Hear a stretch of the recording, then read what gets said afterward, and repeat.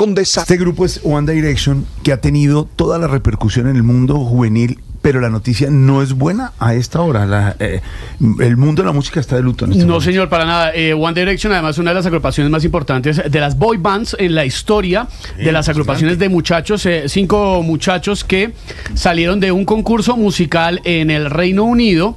Ya hace una década larguita, muy exitosos, hicieron giras eh, por todo el mundo y se separaron también hace unos años. One Direction se presentó en Bogotá.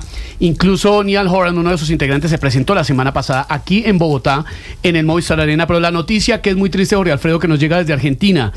Murió Liam Payne, uno de los ex integrantes de One Direction, cayó de un eh, tercer piso, al parecer, en un hotel de Palermo, en la, la capital de, de Argentina, en Buenos Aires, don Lucas. Sí, señor. 31 años tenía Liam Payne. Hombre. De este momento, lo que se conoce, Esteban, es que cayó del tercer piso del Hotel Casa Sur. Esto en el barrio de Palermo de la capital argentina. Y en este momento, pues las autoridades están investigando qué fue lo que pasó. Lo que se ha conocido y lo que reportan medios argentinos es que en horas de la tarde la policía llegó al hotel después de un llamado al 911 donde informaban que había un hombre agresivo que podría estar bajo efectos de las drogas o del alcohol. No se sabe y están eh, corroborando si es eh, Liam Payne o era otra persona que estaba junto a él.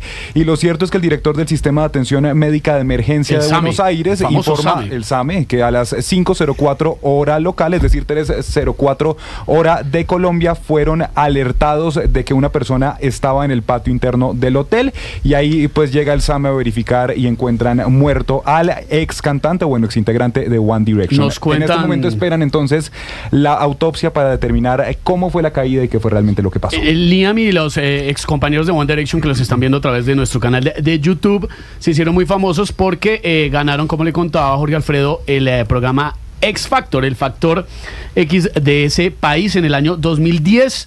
La verdad, una carrera muy exitosa. Tú nos cuentan también desde Argentina. ¿Cuál es de los cinco? El mono, Eh, ¿no? lo que- los están viendo es el segundo de izquierda, Segundo de izquierda a derecha, el, eh, los que nos acompañan a través de nuestro canal de YouTube. Y el segundo de derecha a izquierda fue el que se presentó la semana pasada en Bogotá, Neil Horan. También eh, Harry Styles, que es el primero de derecha a izquierda.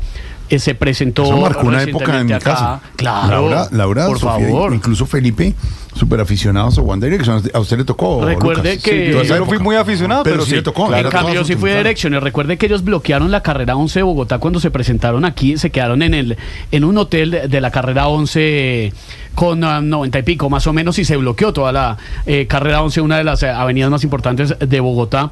En eh, días eh, antes a la presentación de One Direction. Eran como, haga de cuenta para que ustedes lo calculen la magnitud, el menudo de la última década, más o menos. El menudo, sí, señor. eh, en, en todo el mundo. Nos cuentan también desde Buenos Aires que Liam ingresó al hotel desde el domingo 13 de octubre, que sin compañía, que estaba solo, es lo que se conoce hasta ahora, y que permaneció pues hasta esta tarde de este miércoles, en horas de la tarde, cuando el encargado, uno de los encargados del hotel, escuchó un ruido muy fuerte en la parte trasera del hotel. Se dirigió rápidamente y se dio cuenta que uno de los huéspedes había caído desde el balcón de su habitación. Hay varios rumores además relacionados con la vida personal de Liam Payne que seguramente en las últimas horas, en las próximas horas, se irán conociendo las hipótesis y como decía Lucas, pues el SAME, los servicios de sanidad y de salud de Buenos Aires rápidamente constataron que se trataba de Liam Payne, ex integrante de One Direction que acaba de fallecer trágicamente en Buenos Aires, en Argentina. La noticia del mundo del espectáculo y de la música del momento en el mundo.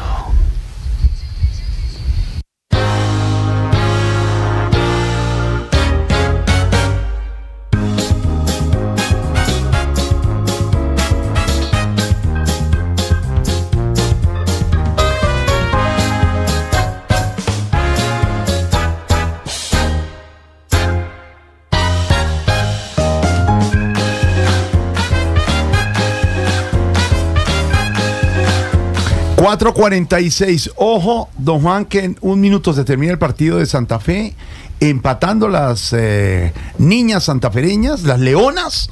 eh, tendrían que ir a penaltis para llegar a la final de la Copa Libertadores Femenina, ¿no? Así es, Jorge. Estamos a 10 segundos de que se acaben los 90 minutos. Santa Fe empata 1 a 1 con Independiente del Valle. Y el ganador de esta llave, la semifinal 4 de adición, faltan 4 minutos, jugará el próximo sábado contra Corinthians por el título del mejor equipo femenino en Sudamérica. Recordemos que solo cuatro equipos colombianos han llegado a la final. Formas íntimas en el 2013, Atlético Huila 2018, el único que ha sido campeón, América en el 2020 y Santa Fe en el 2021. Discúlpeme, ¿el primer equipo se llamaba qué? Formas íntimas en el 2013, aún no existía la Liga Profesional Colombiana. Formas íntimas. Debe ser Es una una marca. marca De de, una un- marca. de ropa interior Ah, femenina. claro. ¿Viste por qué Me puse nervioso y Porque me todo. he puesto a comprar.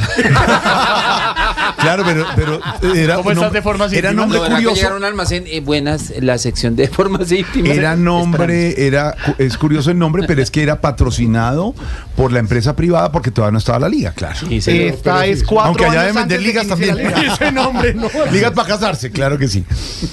Entonces, son cuatro equipos que han llegado a la final de la Copa Libertadores en el fútbol femenino en América. En Colombia sí, son cuatro equipos y solo uno lo ganó, que fue el Huila en el 2018. De resto, ningún equipo colombiano ha ganado la Libertadores femenina y Santa Fe está a tres minutos de disputar los penales para conseguir el ticket.